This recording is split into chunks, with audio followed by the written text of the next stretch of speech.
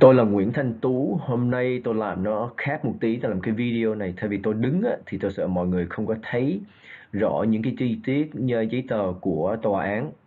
Vì thế tôi phải làm như vậy, như vậy thì à, sẽ thấy rõ hơn là có một cái khúc, mấy khúc tôi cần phải dịch ra từ tiếng Anh qua tiếng Việt cho những người trong quốc nội. Cái tựa đề của cái video này tôi nghĩ có thể nói là cái video này quan trọng nhất là vì video này nói về chiến thuật mà tôi đã áp dụng tôi gọi là tiến thoái lưỡng nan là cái chiến thuật mà tôi áp dụng với uh, cho băng đảng Việt Tân và họ ngày nay họ bước vào cái cái chiến thuật đó của tôi mà họ không biết. Cái hàng ở dưới nói là hãy lắng nghe trái tim của con và hãy liều lĩnh cẩn thận. Đây là cái lời khuyên của bố tôi trước khi mất. Uh, nó có rất rất là nhiều ý nghĩa ở trong cái lời một cái câu ngắn như vậy để hỗ trợ ờ, đơn kiện của Việt Tân mà Đỗ Hoàng Điềm đã nộp cái gọi là lời khai hữu thể vào tòa. Cái lời khai hữu thể khi mà tôi nhận vừa nhận được tôi rất là mừng. Là vì tôi khai thác từ cái từ ngữ họ dùng và những cái chi tiết mà tôi buộc uh, băng đảng uh, uh, Việt Tân Ma phải khai khi ra tòa. Tại vì những cái lời nói ở tòa là lời nói chính thức. Là nếu anh nói láo đó thì anh ở tù tại vì anh đã ờ, đưa tay lên giơ tay lên thề là anh ờ, quả quyết những lời anh nói là nói sự thật. Thì nói cho đúng ngay sau khi mà tôi khai thác xong đó thì tôi gọi thì cái này là cái lời khai tử của ông Đỗ Hoàng thì đúng hơn. À, mấy chục năm nay băng đảng Việt Tân họ đã câu anh họ thường thường thường xuyên nói rằng những người kháng chiến quân bị bắt trước năm 2004 thì là không dính dáng gì đến. Ờ, uh, băng đảng Việt Tân. Nhưng rất tiếc cho uh, phát ngôn viên Hoàng Tứ Duy tại vì ông uh, Đỗ Hoàng Đường không đồng ý với chuyện đó. Thì khi ông nộp đơn lên trên uh, khi ông nộp cái gọi là cái lời khai hữu thể vào tòa ông xác nhận rằng ngày 10 tây tháng 9 năm 1982 các thành viên của mặt trận quốc gia giải phóng uh, Việt Nam đã lập ra đảng Việt Tân có nghĩa là những việc uh, với lại tôi phỏng vấn có về Việt Nam phỏng vấn mấy người mà kháng chiến cho biết trước khi mà họ vào xâm nhập vào Việt Nam uh, hay là trước khi làm những việc gì đi nữa họ làm việc dưới sự chủ động và chỉ đạo của băng đảng Việt Tân. Có nghĩa là họ phải thề uh, vào đảng trước khi làm việc uh, những gì cả khi phát ngôn viên Hoàng Tứ Duy của băng đảng Việt Tân quả quyết là những người kháng chiến quân bị bắt trước năm 1204 à, thì không dính dáng gì với à, đến đảng Việt Tân hoàn toàn uh, uh, sai là như vậy. Họ là sự xếp đặt chứ không phải là dính dáng gì cả. Họ xếp đặt từ 1987 cho đến hiện nay. Năm 1987 Hoàng Cơ Minh khi Hoàng Cơ Minh nằm xuống là họ giữ cái bí mật đó cho 14 năm sau mới mới tuyên bố tại sao rất là đơn giản. Để họ tiếp tục gây quỹ. Tại vì lúc bấy giờ chỉ có Hoàng Cơ Minh có tiếng thôi còn nếu mà Hoàng Cơ Minh nằm xuống thì không ai có tiếng để tiếp tục kiếm miếng. 2004 họ đưa ông Nguyễn Kim gọi là Nguyễn Kim Hường lên. Thì ông Nguyễn Kim Hường lên uh, lên giữ cái chức vụ cho đến 2012 sau khi 2012 thì ông Lý Thái Hùng lên trở về Lý Lý Thái Hùng giữ cái chức vụ tổng bí thư cho đến ngày nay. Nếu mà nhìn kỹ đó ba người này có một điểm chung là ba người đều ở trong chiến khu. Bởi như vậy đây là sự xếp đặt đây là cái dây chuyền chứ không phải là tình cờ như như, như phát ngôn viên của băng đảng Việt Tân uh, muốn lừa gạt cộng đồng Việt Nam ở hải ngoại và quốc nội khi mà tôi vào cuộc cái lỗ của tôi đó cái cái yếu của tôi lúc bấy giờ tại vì tôi chưa uh, bao giờ tham gia vào trong cộng đồng Việt Nam mấy chục năm nay với lại uh, hoạt động trong việc cộng đồng Việt Nam. Thành ra tôi không biết những cái nhân vật và những ai là ai của trong cái ờ, cộng đồng Việt Nam ở hải ngoại vì thế cái cái lỗi lầm lớn nhất của băng đảng Việt Tân tôi thấy đó họ không biết là lúc bấy giờ tôi cần phải khai thác để tôi thu thập những cái tài liệu trước khi tôi tôi tôi, tôi là có chiến lược và chiến thuật. Tôi khai thác tôi vào cái Facebook cái Facebook của của Việt Tân bây giờ đối với tôi như là một cái kho vàng vậy đó. Tại vì họ thích nói chuyện với nhau và họ kích kích khoe à, từ đó tôi mới khai thác biết bao nhiêu những cái những cái nhân vật từ những cái truyền thông, tôi thấy cái cách họ nói chuyện này kia, tôi thấy cái sự thân mật mà hơn là ờ, thân mật của sự, cái sự hoạt động của họ. Tôi thì như con trăng, anh được quyền nổi nhưng anh nói mà anh thở, tôi siết. Những người mà theo dõi tôi, theo tôi mà đọc những cái bài viết tôi viết, những lời tôi viết, những ờ, việc tôi làm đều có giấy trắng mực đen cái tờ giấy trắng mà phía bên tay phải với lại những mũi tên chỉ là cái tờ uh, của sở thuế Hoa Kỳ. Tôi lấy cái số thuế đó ngay tức khắc và tôi giữ cái số thuế của băng đảng Việt Tân. Là sao? Ý ý của tôi là muốn chứng minh cho cộng đồng Việt Nam Hảo ngoại và quốc nội thấy. Nếu mà băng đảng Việt Tân có cái số thuế thì không thể nào tôi lấy được mà khi tôi lấy được, có nghĩa là mấy chục năm nay họ chưa bao giờ có cái mã số thuế này. Có nghĩa là họ chưa bao giờ đóng thuế và khai thuế còn cái tờ giấy phía bên tay trái đó là cái tờ giấy đó là tôi chẳng sao nghĩa là tôi lấy cái cái tên của băng đảng Việt Tân Việt Tân luôn để chứng minh là họ không có tư cách pháp nhân. Ờ, có nghĩa là mấy năm đến mấy chục năm nay họ làm việc không có tư cách pháp nhân vừa không có nếu mà không có tư cách pháp nhân họ không lấy được cái số thuế mà không có mã số thuế có nghĩa là họ không có cái uh, ngân ngân khoản tài chính. Có nghĩa là sao? Là mấy chục năm nay họ hoạt động không hợp pháp. Ờ, và hoạt động trong xã hội đen. Khi mà tôi lấy cái tư cách pháp nhân và cái mã số của băng đảng Việt Tân, tôi buộc băng đảng Việt Tân, một là không nói, nếu không nói những lời tôi nói là sự thật. Hai là đòi cái đó lại, nhưng muốn đòi cái tên và cái số thuế đó lại, tôi buộc họ phải đòi ra tòa đòi lại tôi mới đưa. Tại vì họ có, văn phòng luật sư của họ có gửi và dọa, đòi kiện chúng tôi ra tòa nếu mà không đưa tôi lúc bấy giờ tôi tôi mong đợi họ kiện ra tòa là lý do là như vậy. Trong cái clip một lát nữa tôi cho cho nó cho mọi người để thấy. Nhưng mà trước hết để tôi chia sẻ một cái chiến thuật là tại sao tôi muốn bị kiện ra tòa. Tại vì khi ra tòa đó tôi muốn chính thức cái, cái mục tiêu tiêu chánh của tòa là tôi muốn chính thức lời nói của băng đảng Việt Tân là một cái thứ hai tôi muốn chính thức gọi là chính thức hóa chính thức hóa những cái gọi là đầu lĩnh của băng đảng Việt Tân là ai Tại vì khi mà ra tòa, kiện ra tòa, ông Đỗ Hoàng Điềm là chủ tịch của băng đảng Việt Tân. Chẳng những ông nhìn nhận tôi là Đỗ Hoàng Điềm, chủ tịch của đảng Việt Tân Ma. Chẳng những như vậy nữa, ông Nguyễn Thanh Tú, ông nhìn vào trong bụi kia, ông sẽ thấy uh, Hoàng Tứ Duy, thấy Lý Thái Hùng, thấy những người này vân vân vân. Thì tôi mừng quá. Mà cái thứ hai nữa là tôi có cơ hội và chính thức hóa những gì ông nói ở trong tòa. Làm chi để tôi coi ở những gì ông khai trong tòa có đúng những gì ông nói ở, ở công chúng hay không? Ví dụ một khi mà tôi lấy được cái tên của cái băng đảng Việt Tân lúc bấy giờ băng đảng Việt Tân ra liền cái thông cáo họ nói là chúng tôi uh, hoạt động dưới dạng có tư cách pháp nhân nhưng uh, dưới, dưới hội đoàn không tư cách pháp nhân họ nói cái là rất là khéo léo không dịch ra tiếng Anh là cái mục tiêu của họ là họ lừa gạt cộng đồng họ coi cộng đồng Việt Nam ở hà ngoại và và quốc nội. Cái sự hiểu biết như một người ngu dốt họ quen rồi ông Đảng Việt Tân quen mấy chục năm nay rồi. Nhưng mà kỳ này tôi đổi tôi đổi là à, tôi thực hiện và đang áp dụng cái luật pháp Hoa Kỳ mà họ không biết. Thành ra lúc mà ông Đỗ Hoàng Điềm vừa vừa ra ngày xưa ở ở công chúng, ông nói như vậy, ông quả quyết là việc Tân Ma hoạt động có tư cách pháp nhân, hợp lệ và hợp pháp ở tiểu bang California mấy chục năm nay. Ông Tú không biết luật pháp.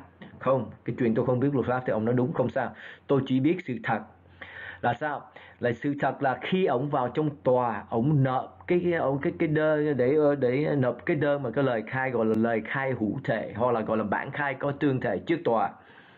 Ông bảo rằng ông khẳng định Việt Tân là một hiệp hội không đăng ký và không có, và và có ngân sách hoạt động nhỏ chứng minh rằng ông Đỗ Hoàng Đình ờ, Điềm và băng đảng Việt Tân đã cố tình lừa gạt cộng đồng Việt Nam mấy chục năm nay. Tôi sẽ cho coi cái clip này. Cái mà cái một cái điểm quan trọng nữa là cái một ngân sách hoạt động nhỏ một ngân sách hoạt động nhỏ theo um, sở iOS, ờ, thuế đó iOS của Mỹ đó là không được quá tôi nhấn mạnh không được quá 5.000 một năm không được thu quá 5.000 ờ, một năm ông Nguyễn Thanh Tú đã làm. Thì mới ờ, ngày hôm qua chúng tôi đã lên đảng Việt Tân đã lên tiếng chính thức đã có một cái thông báo thông cáo báo chí chính thức về việc này. Thì ở đây chúng tôi xin trình bày thật nhanh để quý vị yên tâm. Thứ nhất đó, là đảng Việt Tân đã hoạt động hợp pháp với tư cách uh, pháp nhân hợp lệ hợp pháp uh, từ bao nhiêu năm từ mấy chục năm qua tại địa bàn California này. Uh, Ờ, và đây là không phải là lần đầu tiên mà băng đảng Việt Nam ờ, băng đảng Việt Tân Ma lừa gạt cộng đồng Việt Nam ở hải ngoại và những người ở quốc nội. 36 năm trước họ cũng làm y hệt như vậy mà không không có gì thay đổi cả. Ờ, cái ông mà mình gọi là tướng cướp tội phạm, thảo khấu ông Hoàng Cơ Minh, khi ông về tới Hoa Kỳ, ông ông mở ra cái gọi là cái đại hội chính nghĩa và ông tuyên bố, ông tuyên bố chính, ông nói ra Ờ, ông đã thống thống hợp được uh, thống hợp được 36 tổ chức kháng chiến gồm 10.000 quân. Mặc dù là cái chuyện đó không có chưa hề có. Tại vì ông Đỗ Thông Minh một trong những người mà thành lập uh, cái uh, băng đảng uh, Việt Tân cho tôi băng đảng uh, mặt trận uh, băng, băng đảng uh, Việt Tân Ma cho tôi biết là cái chuyện đó là cái chuyện lừa gạt. Nhưng đối với ông Đỗ Thông Minh đây là lời lừa gạt có công lý. Tôi cho coi cái clip đó của ông Hoàng Cơ Minh đây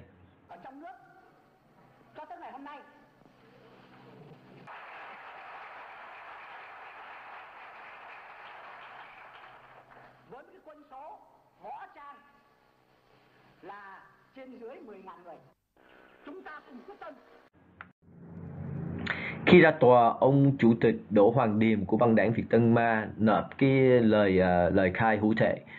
Ông nói rằng trước tòa ông nói là chúng tôi băng đảng Việt Tân Ma hoạt động dưới cái dạng unincorporated association có nghĩa là không có tư cách pháp nhân với ngân sách nhỏ có nghĩa là ông phải thỏa mãn hoặc là phải đáp ứng những cái cái cái cái chữ mà cái dạng mà gọi là không có tư cách pháp nhân. Theo theo theo um, sở thuế của Mỹ đó thì ở trong đây tiếng Anh thì tôi nói tôi tôi dịch ra sơ. Có nghĩa là anh được quyền hoạt động dưới dạng uh, à, không có tư cách pháp nhân với điều kiện là cái cái ngân sách của anh không được quá 5.000 đô một năm một năm cái đó không phải một tháng một ngày mà một năm. Thì ờ, lúc bây giờ Uh, thì, thì thì lúc bây giờ tôi biết là ờ, ông lại một lần nữa ông cái đây là không phải là lời khai uh, hữu thể mà gọi là gọi lời khai dối hữu thể thì đúng không? Ông vừa gạt ra tòa ông gạt uh, ông tránh án một lần nữa tránh án. Ông uh, công chúng thì gạt cộng đồng Việt Nam và Hà Nội tôi thấy là ông chết rồi. Ông uh, nói dối trước tòa đây tôi trình bày những cái ờ, cái lý do tại sao tôi nghĩ là ông không tôi biết ông không có hoạt động dưới cái dạng này. Vì khi mà ông Đỗ Hoàng Điềm uh, chủ tịch của băng đảng Việt Nam Việt Tân Ma ông quả quyết là ông uh, hoạt động dưới cái dạng không có tư cách pháp nhân sở thuế rất là khó khăn và muốn anh được hoạt động cái đó với điều kiện là anh phải đáp ứng những điều kiện như đây. Một trong cái những cái điều kiện đó là anh không được quyền uh, nhận những cái số tiền lớn hoặc là những cái gì mà quá nó những cái số tiền lớn của những cơ quan Mỹ hoặc là những tiền của uh, của chính phủ Mỹ. Mà trong đây đó cái bức ảnh à, này cho tôi nói người mà người phía bên tay trái đó là bà Libby Liu Libby Liu là giám đốc của cái đài Á Châu Tự Do OFA người phía bên tay phải là ông Nguyễn Văn Khanh giám đốc của cái đài OFA Á Châu Tự Do Việt ngữ. Hai người này đồng lõa với nhau giao cho băng đảng Việt Tân gần 400.000 đô. Ngày 2007 họ giao cho băng đảng Việt Tân 167.000 uh, ờ, gần 168.000 mà mà không hỏi một câu hỏi ngay là muốn trước khi đó rất là đơn giản trước khi giao cái số tiền qua cho bất cứ cái cái băng đảng nào hoặc là à, đảng nào cũng vậy hay là cơ quan nào hai người này có bổn phận phải hỏi câu thứ nhất các anh có mã số mã thuế hay không ngân ngân ờ, khoản tài chính hay không rồi các anh phải là tư cách pháp nhân phải có tư cách pháp nhân. Còn nếu mà không có tư cách pháp nhân là anh không có những điều kiện để nhận cái cái cái số tiền lớn như vậy mà họ đưa cái số này. Cái này rất là quan trọng tại vì đây là những cái điều mà tôi đã nêu lên với ờ, với chính phủ Hoa Kỳ, những cơ quan tôi làm việc với là đây là cái sự đồng lõa của họ lừa gạt chính ờ, chính quyền ờ, chính phủ Mỹ. Một trong những cái điều kiện mà nếu mà họ hoạt động vân ta, ban đại việt tân hoạt động dưới cái dạng mà không có tư cách pháp nhân đó, cái điều kiện đầu tiên là các anh không được thu vào 5.000 đô một năm, chứ không phải một tháng, một năm. Tôi sẽ chứng minh đây cho mọi người coi ở hải ngoại và quốc nội thấy rõ họ không có đáp ứng những cái cái cái gọi là điều kiện đơn giản đó được. Là tại sao? Là tại vì họ gây quỹ một trong cái buổi gây quỹ họ, họ có thể gây quỹ dư sức ít nhất là mấy chục nghìn. À, tùy nữa tại vì tại sao? Đây những cái cái tấm ảnh này cho tôi nói gì? Chẳng những họ gây quỹ bằng cách là sao? Họ bán vé rồi sau khi họ bán vé những người vào họ cho cái tiền riêng. Và hữu tiền thu là tiền mặt không à có có ngân phiếu nữa, nhưng mà họ ngân phiếu trả cho những cái cơ quan băng đảng Việt Tân lập ra khác. Mà trước đó họ có được cái gọi là bảo ờ, ờ, ờ, được bảo trợ được bảo trợ bởi những cái hãng này ra, những cái công ty này. Thành ra rất là nhiều tiền. Đây là cái cái cái hình cái tấm ảnh đầu tiên tôi sẽ nói. Như tấm ảnh thứ nhì họ cho biết là trong cái đêm đó họ gây được là hai đêm đi nữa, một đêm, hai đêm không quan trọng, nhưng mà họ gây được 40 nghìn, có thể gần 50 nghìn chưa tổng kết. Vì còn trừ trừ chi phí ờ, cái gì ờ, áo âm thanh rồi quần áo họ cho ra gần 50 nghìn có nghĩa là họ quá cái mức mà 5 nghìn của cái sở thuế cấm họ ờ, không được nhận dưới cái dạng mà không có tư cách pháp nhân. Nghĩa là như vậy là thấy họ hoàn toàn là không phải là từ không có gọi là đáp ứng điều kiện của một cái dạng đòi cái cái đòi hỏi của ờ, dạng tư cách pháp nhân à, không có tư cách pháp nhân cái hình thứ hai. Ờ, ở cái, đây là tờ báo người Việt, những, một trong những cái tờ báo lớn ở California cho thấy, ở đây họ nói khoảng hơn 300 người tham dự. Nên nhớ nha, họ bán vé vào. Mỗi một vé họ bán từ 35 tới 50 đô vào trong cái nhà hàng rồi gây quỹ. Rồi sau đó có những người ờ, tài trợ, gọi là bảo trợ đó. Rồi đã như vậy rồi những người cho tiền riêng nữa. Ờ, tại vì bán vô có nghĩa là họ gây biết bao nhiêu cả chục cho chục nghìn một buổi cơm mà mà mà ông ờ, Hoàng ờ, ông ờ, Đỗ Hoàng Điềm dám quả quyết trước tòa cái lời khai cụ thể là chúng tôi hoạt động dưới cái dạng không có tư cách pháp nhân hoàn toàn sai hết không phải là sự thật. Đó là hình thứ hai. Đây là băng đảng Việt Tân trên đây đây là trên cái gọi là cái mạng của băng đảng Việt Tân. Họ khoe đây họ nói chúng tôi gần gần 400 đồng bào có mặt của uh, cái bữa gây quỹ đó ở uh, Gia Đại Toronto rồi đây là cái mà cái cuối cùng tôi lấy một nhiều lắm nhưng mà tôi ờ, ví dụ vài cái. Đây là tháng 9 30 tháng 9 năm 1217 gây quỹ có 100 người khách tới nhà giữ ờ, tham dự buổi tiệc của bác sĩ Đặng Vũ Chấn. Bác sĩ Đặng Vũ Chấn là đảng viên cao cấp của Việt Tân. Họ gây quỹ. Nên nhớ nha đây là hoàn toàn sai hết về về sở thối họ. Ờ, là không được quyền làm cái này. Đây là, là, là hoàn toàn sai hết. Đây là cái cái cái ờ, tấm ảnh của cô Trinity Hồng Thuận. Trinity Hồng cũng là một đảng viên cao cấp vừa làm cho SPTN vừa là đảng viên của Việt Tân. Bởi như vậy SPTN và và và và, và Việt Tân là chúng chúng tôi tôi có thể nói là một anh em uh, một cha khác mẹ. Ở đây trong cái cơ trong đây cô này bộ cổ bản quảng cáo cô cô khoe cô nói là bên Houston sẽ tổ chức vào ngày 23 tháng tháng 7 thì phải mỗi năm vé đều sold out. Có nghĩa là uh, cái vé bán hết hoàn toàn bán hết và cô hy vọng năm nay cũng vậy. Đó là chỉ vé thôi. Một lần nữa chưa nói về tiền mà tài trợ chưa nói về tiền mà mấy người bước vô cho cả năm năm trăm hoặc là nghìn đô gì nữa chưa nói về những cái đó. Để tôi nói tóm lược là như vậy. Cái thứ nhất băng đảng Việt ờ, băng đảng ờ, Việt Tân Ma đã khẳng định trước tòa là họ không có tư cách pháp nhân. Cái thứ hai, nhưng họ bảo với tòa rằng họ hoạt động dưới dạng hội đoàn không có tư cách pháp nhân. Chuyện này không có và không đúng. Tại những gì tôi nói đưa ra uh, luật pháp của Hoa Kỳ, nhất là sở thuế cho chúng ta thấy là họ không có đáp ứng những điều kiện của một hội đoàn không có tư cách pháp nhân. Có nghĩa là sao? Có nghĩa là mấy chục năm nay băng đảng Việt thân Ma hoạt động trong xã hội đen. Hoặc là tiếng Việt người ta nói ờ, tôi nghe người ta nói gọi là lậu họ làm lậu và họ đang hoạt động trong uh, xã hội đen từ ngày mà họ thành lập cái vệ băng đảng Việt Tân Ma trong cái uh, chiến khu ở Thái Lan họ khinh thường uh, cộng đồng Việt Nam cái chuyện đó chuyện không có gì lạ. Tại vì đối với họ, họ nghe là như vậy họ khinh thường cái sự hiểu biết của cộng đồng Việt Nam uh, ở hai ngoại và cũng như trong nước là những nhân gọi là tầng lớp ngu dốt. Họ hành xử với cái sự khinh thường coi người dân như là những kẻ dưới tay họ. Còn cái về, bởi vì cái chuyện mà họ coi dân như là đàn vịt là cái chuyện thường thấy không có gì lạ cả mà ví dụ sau khi mà thành lập được uh, cái gọi là uh, gọi là hội đồng quản trị của băng đảng Việt Tân Ma cái tên tội phạm Thảo Khấu Hoàng Cơ Minh cần phải thành lập cái gọi là kháng chiến quân. Mà đối với ổng đó kháng chiến quân phải là thành phần bằng cố nông. Để cho cho coi cái clip này một tí. Đối với mặt trận Hoàng Cơ Minh đối với ông Hoàng Cơ Minh đó phải là thành phần bần cố nông.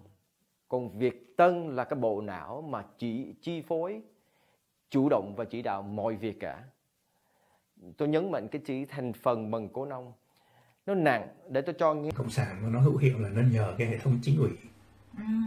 ngày xưa là chỉ có ủy viên chính trị thôi yeah. thời dạ. thằng tàu nó qua nó mới sửa lại như hoàng tùng nói nó qua nó sửa quân đội mình nó mới đặt chính ủy và chính ủy phải là vô sản phải là thành phần bẩn cố nông ừ. chứ không cần trí thức trí thiết gì cả yeah. Dạ. mấy thằng mà đi theo những trong phim chúng tôi muốn sống như thế yeah. nó thằng nó gạt hết yeah. để cho cái đám ngu nó lên thì yeah. nó chỉ có nghe lời thôi yeah. nó là cái cách dùng người của nó yeah. là như vậy à, cho nên là ông minh ông thấy rằng cái đó nó, nó hữu hiệu à. phải không nó chặt chẽ đám ngu nó có hữu hiệu đám ngu có hữu hiệu để thành phần bằng cô nông là như vậy những người như Thạch Sơn Ly, Đỗ Bạch Thố, Trần Đế, Phạm Hoàng Tùng, Lê Đình Bảy, vân vân. Những người đó khi mà họ tình nguyện đi vào tham gia để tranh đấu cho cái tự do. Nhưng mà đối với ông Hoàng Cơ Minh, đây là những thành phần bần cố nông. Bần cố nông là gì? Ý ông là gì? Để ông áp dụng năm chữ không. Anh ờ, các anh tưởng tượng đây là những người tình nguyện đi tranh đấu cho tự do. Khi vừa bước vào khu, chiến khu, ông áp dụng năm chữ không để khống chế tự do của những người này. Và gọi những người này là bằng cố nông. Mấy những người này không phải bằng cố nông, mấy người này họ sống và chung thủy với cái lý tưởng của họ. Đồng ý hay không? Lũ hề chỉ đạo lũ hàng. Tại sao tôi gọi băng đảng Việt Tân là lũ hề? Họ thành lập là trong cái hội cái hội đồng ờ, quản trị của họ nào là thạc sĩ, tiến sĩ, luật sư, bác sĩ, đủ thứ sĩ hết. Mà họ liên liên tục là thua một cái người một cái người nghĩa là tầm thường như tôi trí tuệ không bằng họ được tại trí tuệ họ là vô bờ tôi trí tuệ làm sao mà so sánh với họ được chẳng những như vậy mà họ nắm vững hết toàn cái cái gọi là cái ờ, tôi gọi lá cải truyền thông tại vì họ đã việt tân hóa hết rồi. Cái, cái lá cải truyền thông việt tân việt ngữ là việt ngữ đó mà họ thua. Uh, thì làm sao uh, nghĩa là họ họ mang tiếng là một đảng đối lập với cái chính quyền Việt Nam. Mà anh thua một người cá nhân mà thua lên thua xuống thì làm sao mà anh ra anh đương đầu với với chính quyền Việt Nam được? Cái chuyện là chuyện đó là chuyện ờ, chuyện hề thì đúng hơn. À, còn cái chỉ đạo lũ hàng lũ hàng là sao? À, để tôi nói như vậy. Khi cái cái cái phim xong vừa ra xong đó tôi thấy là tôi tôi coi tôi coi mấy cái họp báo cả. Họp báo ở thành phố này thành phố kia thành phố nọ tôi thấy cộng đồng Việt Nam ra những người họ mặc những cái gì họ gọi là áo giáp thiết giáp gì đó.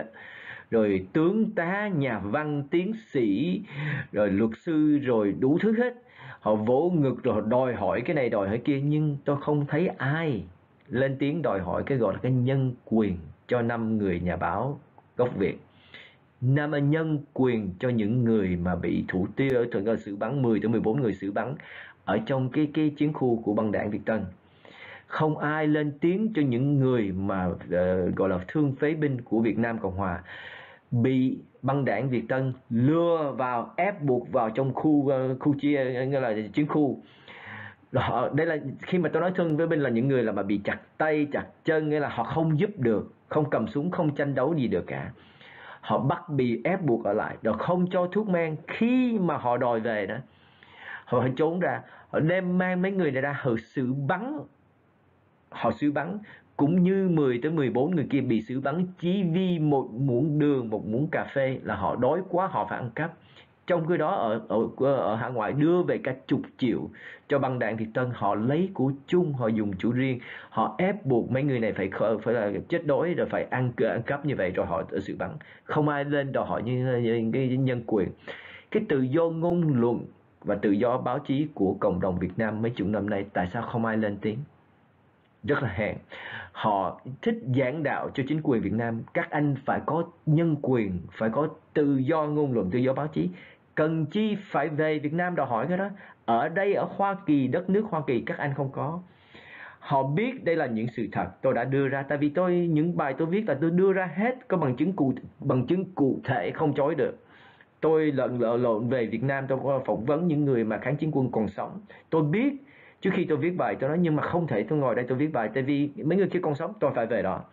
Mà họ giả mù sa mưa nhắm mắt mở để cho họ để cho băng đảng Việt, Việt Tân tiếp tục lừa gạt cộng đồng Việt Nam. Không ai lên tiếng phản đối và không đưa vấn đề này ra trước pháp luật là, là gì hết. Họ biết rõ những cái việc làm nào mà họ turn the other way turn the other look the other way. Họ làm lơ. Đây là lũ hèn tôi nhớ ngày xưa tôi còn nhỏ. Bố tôi nói như vậy con sẽ thấy họ ra lúc mà con ra họ sẽ đến hội đồng con. Đừng lo bình tĩnh mà đi nha tú. Con tập trung vào cái việc mà cái cái cái mục đích con phải làm cái mục tiêu con phải làm. Tập trung vào đó họ sẽ gọi con cộng sản. Họ sẽ nói là bố với con là cộng sản rồi này đủ kia đây rồi họ sẽ, sẽ chưa dùng những cái từ ngữ rất là không văn chương không sao tập trung đi đó.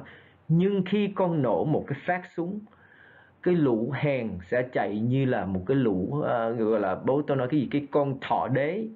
Tôi biết con thỏ là gì tôi không biết thỏ đế là gì cả. Nếu mà ai biết thì email cho tôi biết. Tôi không biết thỏ đế tôi chỉ biết con thỏ mà thôi. Mà sự thật như vậy. Để, cái ví dụ như cái tấm ảnh này để tôi giới thiệu mấy người uh, mấy nhân vật này cho người bên tay phải mà gốc tay phải ở trên phía trên là nghị viên tâm ngồi gần cái bàn của ông Đỗ Hoàng Điềm uh, ờ, chủ tịch uh, của băng đảng Việt Tân bữa đó họ tổ chức hay là gây quỹ gì đó? Ông ờ, ông, ờ, ông ờ, thì, thì nghị viên thì Tân nghị viên Tâm có mặt. Người dưới đó là ông Phát Bùi hình như là phó thị trưởng uh, Phát Bùi. Người mà mang cái kính mát đó là là ông uh, trí Tạ là ông thị trưởng. Còn người ở dưới là Janet Nguyễn là um, uh, thượng nghị sĩ Janet Nguyễn. Họ có cái điểm chung điểm chung là gì? Họ đều chụp ở dưới cái lá cờ Việt Tân hoặc là ngồi chung với Việt Tân hoặc là đứng như chung với ờ, như ông Hoàng Cơ Định và bà Janet nguyện. Cái ý nghĩa của cái này nói lên gì? Họ chấp nhận sự thật. Không họ chụp hình với sự à, không họ chụp hình với cái ác chấp nhận cái ác bằng lòng cái ác và ủng hộ các ác. Như vậy các anh chống cái ai? Như tôi nói, nhìn vào gương thì hỏi các anh chống gì, lập trường các anh đâu, lương tâm có hay không? Tại sao không ai nói lên một cái gọi đòi hỏi nhân quyền cho nghĩa là nói thí dụ các anh ghét tôi đi nữa. Không sao. Đừng nói về bố tôi, đừng nói về năm người kia. Những người 10 tới 14 người bị băng đảng thị trấn thủ tiêu, xử bắn ở trong chợ, ở trong cái chiến khu là sao? Mấy người đó mang thân đi, nghĩa là ờ, ờ, ờ, cứu nước đó, gọi là tranh đấu cho tự do. Mấy người đó thì sao?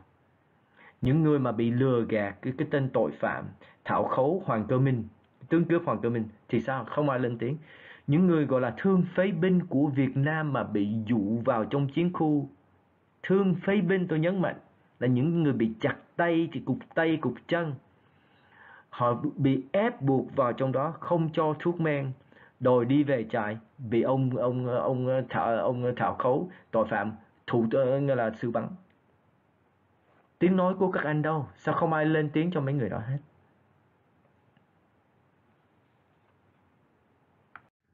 Đây là những cái hội đoàn của Việt Nam đây. Ở ở ở quốc ờ, ở, ở ờ, hội đoàn của ở, ở cộng đồng Việt Nam hải ngoại. Xung quanh đó chụp với ai? Hoàng Cơ Định Hoàng Cơ Định dưới lá cờ Việt Tân hết. Như vậy họ tranh đấu cái gì? Một trong những cái câu hỏi mà nhiều người hỏi tôi, anh đã chứng minh những việc anh đưa ra nghĩa là bằng chứng cụ thể mà gia đình tôi có, anh tôi hay là em tôi không, vẫn không tin, thì anh nghĩ làm sao tú? Thì tôi trả lời như vậy, chúng ta ra đời, cái có một cái quyền mà anh phải phải tôn trọng của người chị anh hay là người vợ anh hay là người chồng anh, hay là chị, là như vậy. Ngu là quyền tự do cũng như cho phép bị lừa là tự do ngu. Tôi không giúp được anh không giúp được không ai làm gì được hết. Đây là bức cái bức tấm bức ảnh này cho thấy anh thấy những cái lũ hề uh, một một lũ hề và lũ hèn lũ hề uh, chỉ đạo lũ hèn nghĩa là lúc cái phim vừa ra tôi thấy người nào cũng đập ngực vỗ ngực chúng ta đòi hỏi ProPublica phải làm cái này. Kiện họ ông nghĩa là ông phó thị trưởng ông gì phát bùi vậy đó. Chúng ta phải kiện họ làm ai cũng ra nhiều người ra ý kiến. Nhưng mà lúc mà tới làm đó như bố tôi nói như con thỏ đế họ chạy hết. Các anh chỉ nói cái mồm thôi. Khi tôi lên tiếng về đòi hỏi cái công lý cho bố tôi và những người uh, uh, đồng nghiệp thì đối với Việt Tân họ gọi là biêu tiếng xấu cho Việt Tân là chiến lược của cộng sản. À, có nghĩa là tôi là cộng sản. Vì tôi là cộng sản họ đưa những nhà những gọi là những nhà văn họ ra nói đây. Vì tôi là cộng sản hành trình của tôi là một hành trình phi công lý. Tôi buồn cười là cái chỗ này cái thở nay một người con đi tìm công lý cho bố mình là cái chuyện dĩ nhiên chuyện đương nhiên vì đó là đạo con mà chẳng những vậy nữa. Cái chữ hiếu là một cái nền tảng, là cái truyền thống, một nền tảng 4.000 năm văn hiến của những người con ờ, đất Việt, người người người con đất Việt. Mà họ bảo là tôi, vì tôi là cộng sản, hành trình của tôi là hành trình phi công lý. Cũng như ngày xưa họ bộ tôi bảo bố tôi là cộng sản. Rồi một nhà văn gọi là Vũ Văn Lộc, họ nói tôi nên đi tìm công lý cho người Việt quốc nội vì trong đó tôi sẽ tìm công lý cho bố tôi. Họ ám chỉ ông uh, Nguyễn Trãi. Thì tôi lướt cấp ông Nguyễn Trãi tôi tìm. Google thì ông Nguyễn Trãi là quân sư giỏi của Việt Nam ngày xưa. Tôi không biết tôi không rành nhưng mà tôi có tìm. Tôi hiểu ý ông muốn nói gì. Để tôi trả lời như vậy. Khi nào ở quốc nội mà Việt Tân không còn uh, khai thác người quốc nội hoặc là dựng dựng lên những cái gọi là cách mạng màu. Thì trong đó tôi sẽ tìm công lý cho bố tôi. Lúc bấy giờ tôi sẽ tìm. Khi nào cộng đồng Việt Nam ở hải ngoại có tự do ngôn luận tự do báo chí có một cái truyền thông đạo đức truyền thông trung thực và có gọi là uh, uh, triệu người sống không còn phải sợ sợ sợ uh, sợ hãi nữa. Lúc bấy giờ trong đó tôi sẽ tìm công lý cho bố tôi. Để tôi nói sơ đây. Lúc bố tôi nằm xuống trước khi nằm xuống bố tôi hứa bắt tôi hứa là tôi phải tại sợ tôi thương bố tôi lắm. Bố tôi buộc tôi phải sống. Con phải sống nha tú con hứa với bố. Tôi sống vì để để tôi giữ những lời hứa của bố tôi. Đó là những cái tôi phải hoàn tất uh, sứ mạng của bố tôi. Nghĩa là những người quốc nội không sẽ bị khai thác nữa cái những người quốc ờ, ở những người hải ngoại sẽ có cái gọi là tự do công luận tự do báo chí. Và cái tiếng nói sẽ cái trong cái tiếng nói trong uh, truyền thông sẽ trong sạch. Đó là cái cái công lý tôi sẽ tìm khi mà tôi hoàn tất sứ mạng đó. Tôi có mấy cái cập nhật tôi, có, tôi xin chia sẻ với cộng đồng Việt Nam uh, và hải ngoại và quốc nội cái cập nhật thứ hai như tôi đã báo trước, Việt Tân đã đăng ký thương hiệu với phòng bằng à, bằng à, sáng chế và thương hiệu Hoa Kỳ gọi là USPTO. Họ với lời giải giải thích như đây, cái chữ mà tiếng Anh chữ Việt Tân lúc đầu đó thì họ về dịch ra là uh, là New Việt mà New Việt họ dịch ra là Tân Việt nhưng mà không được bây giờ họ trở lại họ gọi là Việt mới họ lương lẹo tại Việt Tân đổi tên thành Việt mới là họ tìm đủ thứ cách để để tôi không biết họ tránh cái gì. Nhưng mà để tôi nói rất là tôi để tôi nói cho nó rõ ràng như vậy tôi chẳng cần nói nhiều mà để cho mọi người tự nhận uh, xét. Mà tôi cũng muốn nhắc nhở cho như ông bà ở trong đảng Việt mới rằng trễ rồi những cái vôi bạch tuộc tôi đã đóng và cái đầu con bạch tuộc tôi đã ghim các anh đừng có hồng chỗ, ờ, chạy trốn ở đâu cả. Nó rất trễ. Những gì ờ, các anh làm bây giờ đổi tên việc mới việc cũ việc gì đi nữa. Quá trễ. À, để chứng minh nói có sách có chứng đây là cái cái copy tôi đã cho mọi người thấy. Họ họ để chữ new việt là họ muốn đổi là việt tân là new việt. New việt có nghĩa là lúc đầu thì họ nói là tân việt. Tân việt thì cái con là của con gà uh, cái cái nhà hàng gà chiên xong xuôi giờ họ new việc việc việc mới việc gì đủ thứ việc việc cũ việc mới tôi không biết việc gì cả. Nhưng mà đổi việc cũ việc mới việc gì đi nữa các anh cũng chạy không được với tôi. Ờ, Tại cái đầu chụp bạch tuộc đã bị tôi ghim rồi. Tôi xin nói về cái uh, cập nhật về cái vụ kiện mà Houston là tôi kiện băng đảng Việt Tân và cái đài Á Châu Tự Do. Uh, khi được tin 31 tây tháng giêng ông Nguyễn Văn Khanh là à, cái đó là ngày cuối cùng của ông và tôi cũng được uh, cho biết là ông được xếp đặt chuẩn bị đi qua uh, uh, Philippines để uh, uh, để ở đó 2 năm làm việc với trình hội. Hội là cái băng đảng voi cái uh, cái hội đoàn voice. Khi tôi biết tin tức như vậy tôi liên lạc uh, văn phòng tôi luật sư của tôi tôi nói tìm đủ thứ mọi cách phải đưa uh, tống đạt trác tòa cho ông uh, Nguyễn Văn Khanh liền ngay tức khắc. Tôi có thể cập nhật cho biết là ông uh, ngày là 31 tây tháng uh, Giêng à, 2018 hay là có thể trước đó ông Nguyễn Văn Khanh uh, giám đốc của đài uh, OFA là Á Châu Tự Do đã nhận được trác tòa của uh, bên văn phòng luật sư của tôi đây là những người, đây là bằng chứng của những người đã nhận được cái trác tòa của bên văn phòng luật sư của chúng tôi là Nguyễn Văn Khanh, à, giám đốc ờ, Việt ngữ cho cái đài OFA, à, ờ, là đài Á Châu Tự Do.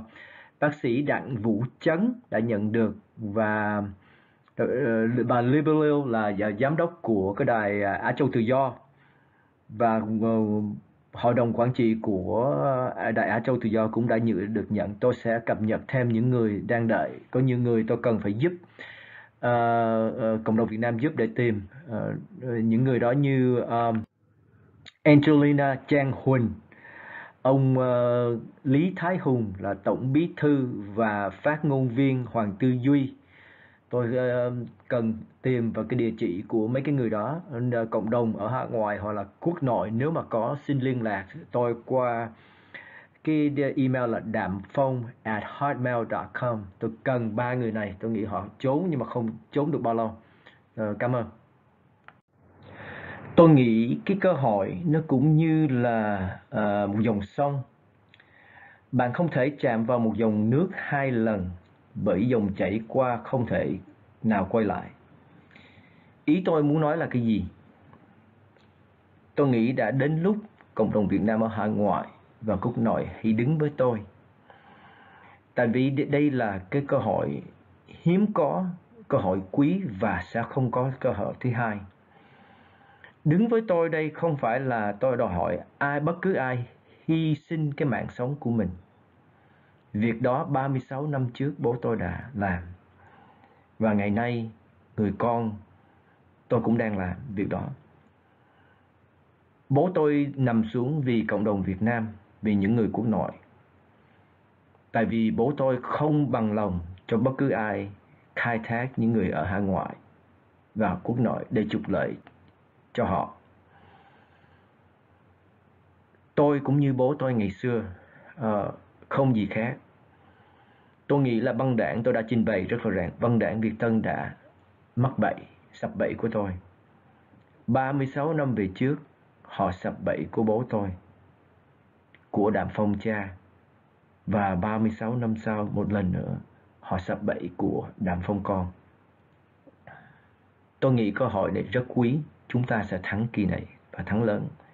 Hình sự hay dân sự, băng đảng Việt Tân phải kết thúc. Nhưng bố tôi đã nói, ở đời cái gì cũng vậy ở con? Tú, cái hành trình con con phải luôn luôn khiêm tốn, nhưng thực tế thực tế là nếu tôi không có tiền, tại vì những cái vụ kiện này rất là đắt tiền, tôi sẽ thất bại. Nếu tôi thất bại, cộng đồng việt nam sẽ thất bại. Cộng đồng việt nam sẽ thất bại người quốc nội sẽ thất bại có nghĩa là cộng đồng việt nam ở hải ngoại sẽ tiếp tục sống trong một bóng tối cũng như người quốc nội sẽ tiếp tục sống trong một uh, bóng tối và sẽ sẽ tiếp tục cho phép băng đảng Việt thân ở Việt Tân khai thác và trục lợi. Chuyện đó tôi không chấp nhận được và tôi cũng hy vọng cộng đồng Việt Nam ở hải ngoại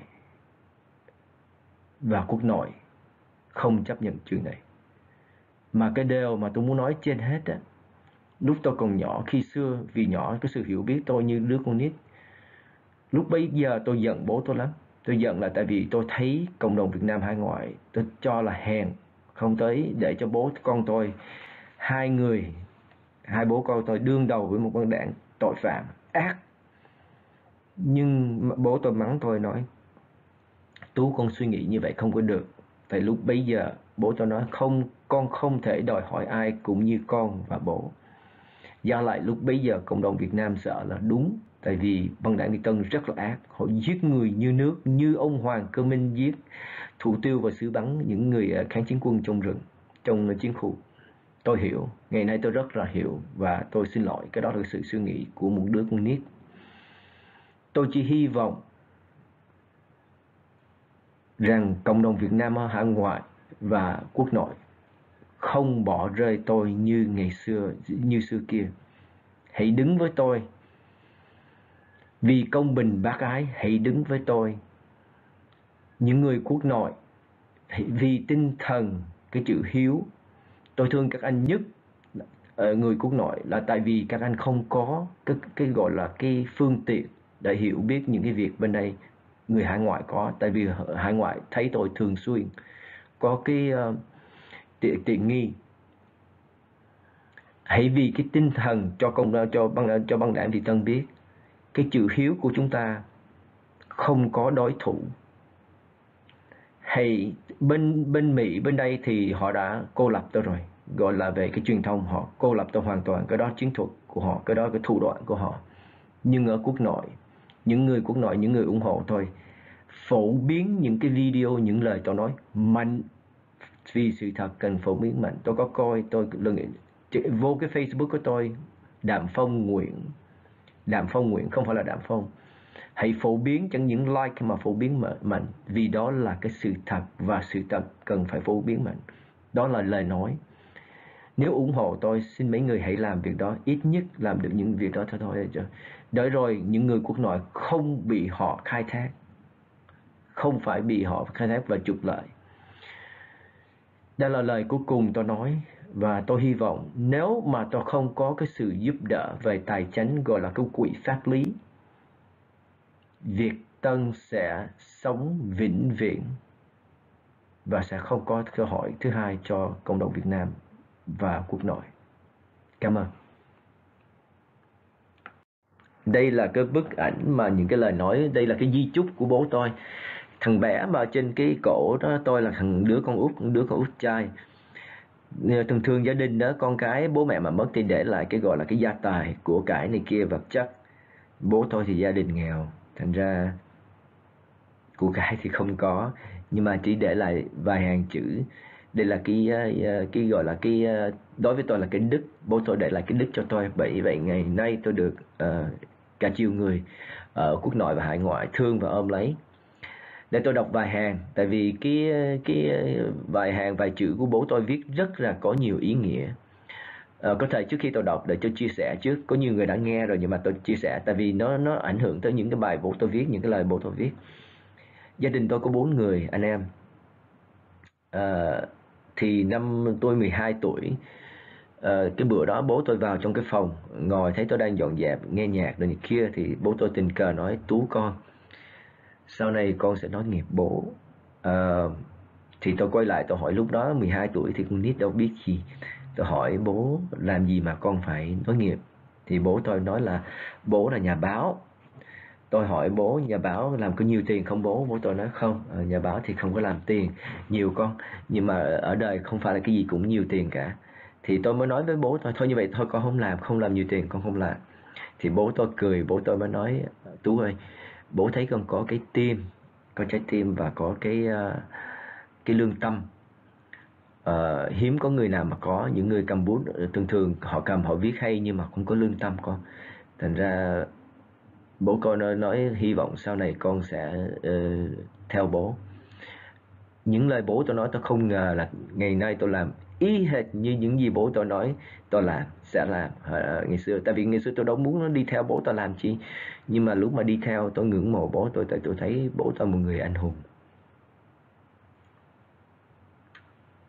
Một người can đảm.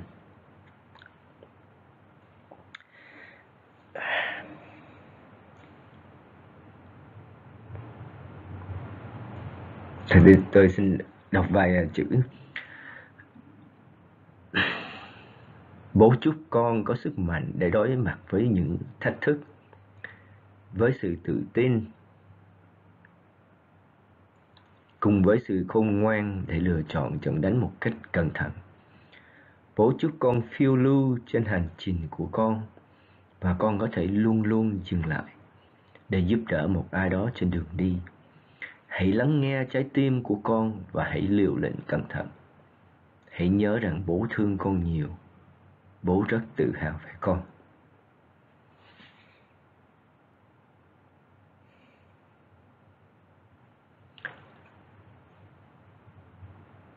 Trái tim tôi, khi tôi nhìn thấy cộng đồng Việt Nam hải ngoại và quốc nội bị họ ăn hiếp, trái tim tôi không cho phép tôi bước một bước. Lương tâm tôi không cho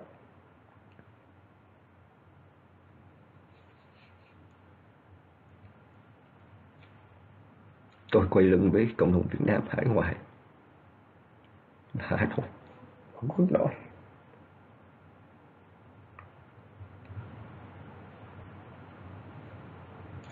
Xin lỗi.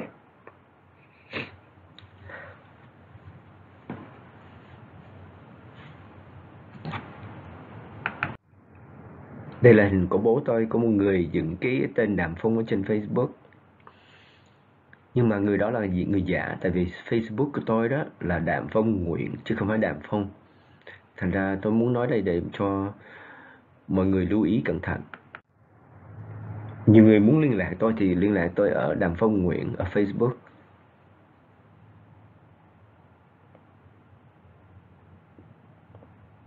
Và đàm phong ở cái blog.